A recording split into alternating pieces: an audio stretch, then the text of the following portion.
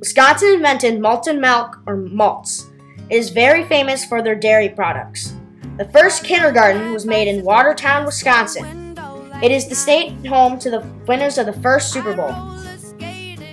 Illinois ranks 24 in size among the U.S. The capital is Springfield. The third largest city is Chicago, Illinois. Michigan ranks 23rd in size among all the U.S. states. The capital is Lansing. Michigan became the 26th state in January 26, 1837. Michigan is divided into two parts. Minnesota is the home to the Minnesota Vikings. The state capital is St. Paul. Indianapolis is the capital of Indiana. Indianapolis, Indiana is home to the Indianapolis Colts, led by Peyton Manning.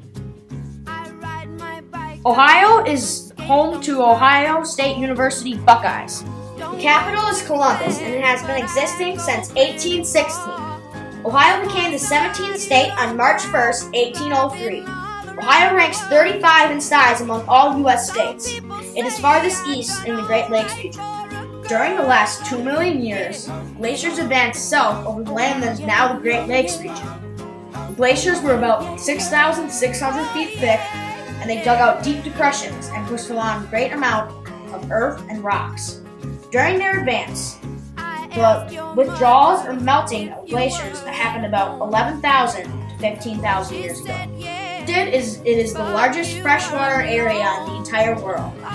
The Great Lakes have a combined area of 94,000 square miles. The state bird of Wisconsin is the robin. State bird of Minnesota is the loon. Illinois, Indiana, and Ohio all have the same state bird, the cardinal. The state trees for the Great Lake region are the sugar maple, white oak, buckeye, Norway pine, and the tulip poplar. The state flowers for the Great Lakes region are the violet, peony, two lady slippers, an apple blossom, and a red carnation.